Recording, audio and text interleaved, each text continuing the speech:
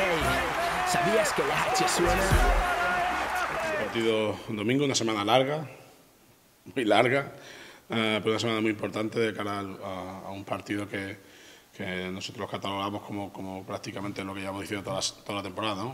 Es una final para nosotros, una más, eh, ante un rival eh, completamente distinto al de la primera vuelta, eh, ya no solo por el entrenador, sino por los nuevos fichajes, y con un tipo de juego completamente distinto también. ¿no? Eh, un, rival que, que se ha reforzado muy bien, muy bien ah, en cuanto a nombres y hombres y que con la última adquisición de Urtasun, pues la verdad es que eh, es un equipo, la verdad es que temible, ¿no? Eh, como bien os digo, esta semana está siendo eh, especialmente larga, ¿no? Pero yo creo que estamos intentando trabajar en, en encontrar argumentos eh, que nos permitan afrontar un partido difícil con, con la máxima garantía de poder competir para ganar, ¿no? Eh, mm, el equipo está eh, con confianza, creo que al final los, los días de descanso siempre vienen muy bien, vienen muy bien para despejar la mente y- y descansar un poquito el cuerpo. Em, pero creo que esta semana eh, tenemos que dar un, un paso más al frente, ¿no? De cara a, a poder conseguir esa salvación matemática, por supuesto, y seguir mirando eh, hacia los puestos de, de playoff, ¿no? Y nos enfrentamos a, a un Girona con, con un potencial, como decía, increíble, ¿no? Eh, con dos bases muy experimentados, con, con grandes directores de juego y, y con capacidad para anotar en, en diferentes situaciones. Eh, en la posición de alero, como decía, eh, creo que, es un, fichaje increíble, eh, con un jugador con, conocedor de la, de la competición. eh, el año pasado estuvo a un nivel altísimo en Alicante y creo que, que les va a, ver- va a ser una pieza muy, muy, muy importante para ellos. ¿no? Ah, luego ya tenía a Pep Bagar, eh, todos sabemos de su capacidad anotadora, Sturup que, que ha dado ah, un paso al frente, eh, y bueno, Eris Vila, Sorolla ah, y por supuesto Gasol, ¿no? que, que creo que hablar de Gasol me, me- me da hasta un poco de vergüenza, ¿no? Eh, y, pero nada, yo creo que afrontamos este partido como un reto más, un reto importante en una cancha que a vos seguro tendrá muchas ganas de baloncesto, una cancha que, que- siempre ha sido ah, muy caliente en, partidos importantes y, que, que ahora ah, están consiguiendo meter mucho público y eso seguro que, que también va a ser un- un- una motivación importante para nosotros. ¿no? Ah, esperemos afrontar ese, partido con, esa máxima ilusión. ¿no? Nos, quedan, nos quedan 13 finales. Eh, Creo que debemos intentar mejorar claramente nuestro, afán competitivo de los 40 minutos y, solucionar los problemas que nos vayan surgiendo durante la marcha y, no abandonarnos, ¿no? En algún momento ah, hemos estado ya alicaídos, ¿no? E incluso nos pasa en los entrenamientos hoy mismo, ¿no? Hemos hecho un- una muy buena sesión de entrenamiento esta mañana y al final ha habido un equipo que se ha ido por completo del partido, ¿no? Y esas son cosas que tenemos que intentar, del último partido de entrenamiento, ¿no? Y esas son cosas que tenemos que intentar eh, mejorar, analizar y, y- y el equipo eh, debe estar a, a la altura de, de las circunstancias. Una pregunta. Y, bueno, que no te dé vergüenza hablarnos de, de Margasol, la verdad es que, que nos interesa mucho lo que diga y tal, si preparaba algo específico y cómo, cómo ves cómo está Sí, eh.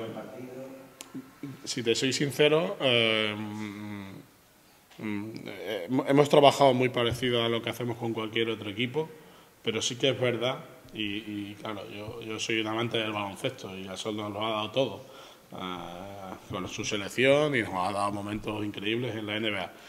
Pero si te soy sincero, hasta que no he puesto su nombre en algún momento en el entrenamiento para hacer esto o esto u otro, la verdad es que trabajo mucho pensando en, en nuestros jugadores y en lo que, lo, lo que puede hacer. ¿no? Pues sí que es verdad que eh, te, impacta, te impacta poner su nombre y, y saber que te vas a enfrentar a un campeón del mundo. ¿no? Eh, obviamente, eh, como, como hacemos cada día, hacemos un trabajo exhaustivo, eh, eh, tengo los informes de Yago, los míos propios, los ponemos en común y, y analizamos dónde podemos hacerle daño y obviamente analizamos cómo poder hacer daño a, Girona, que no es solo Margasol y lo ha demostrado eh, con las últimas victorias sin él, eh, pero también es cierto que le prestamos una atención que, pues, del nivel de grandes jugadores que, nos hemos enfrentado. Evidentemente él es más Gasol, eh, lo es todo para, para, los amantes del baloncesto, como digo, como yo, y intentaremos que, no se sienta cómodo, que no, que no haga jugar, que, que su equipo no, no, juegue fluido, porque cuando tiene el balón en las manos, pues claro, cuando digo que me da vergüenza hablar de él, pues, quién no sabe lo que puede hacer Margasol, ¿no? Nosotros trabajaremos con nuestras armas y, con, la máxima ilusión de, competirle a él y al equipo, porque creo que de verdad han configurado una plantilla ah, después de los últimos cambios eh, que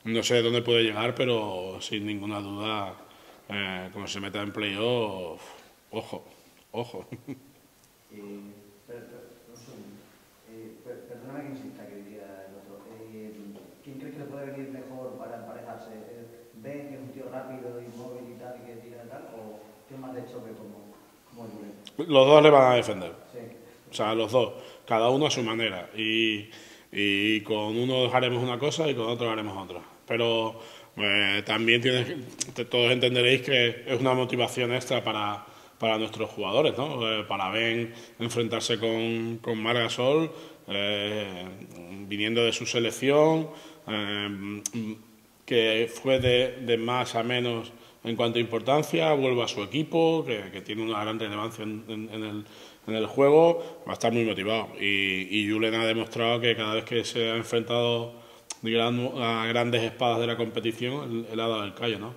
Creo que son dos maneras distintas de defender y, creo que eso, mm, ya no solo a Margasol, a cualquier eh, pivot puro de la liga, eh, le, le, puede generar problemas. ¿no? Entonces esperemos que esta vez todavía redoblemos esfuerzos y, y consigamos, consigamos eh, ponerle en, complicaciones. ¿no?